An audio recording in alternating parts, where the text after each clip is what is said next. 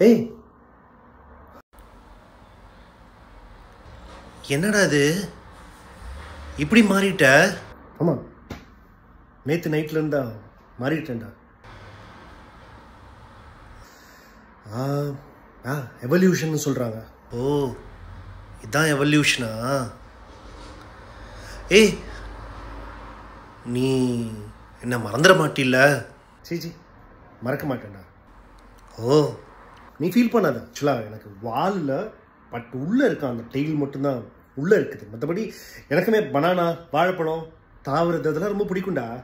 நானும் அந்த மாதிரி ஆயிடுவேன்ல சீக்கிரம். டேய்.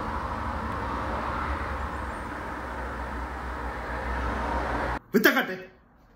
இங்க பாருங்க குரங்கு.